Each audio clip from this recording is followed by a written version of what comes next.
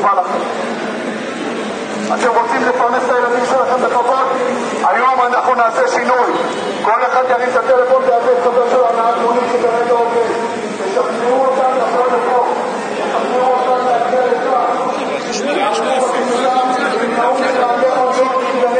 המשטרה עושה סלקציה בנהגי מוניות שבאים לפה. אני אומר לכם, תביאו את החברים שלכם לפה. כשאנחנו מאוגדים, אנחנו אחד. ורבותיי, אני נורא מצטער שאנחנו מפגינים בפניכם היום, אבל היום חבר הכנסת שר התחבורה סמוטריץ' בחר לפגוע בשכר שלנו ולקחת 30% מהשכר שלנו. האנשים האלה, כמו שאתם רואים אותם כאן, עם חובות, עם ילדים, הם שובתים היום רק בגלל זה. הם הרגו אותנו, הם הרגו לנו הענף.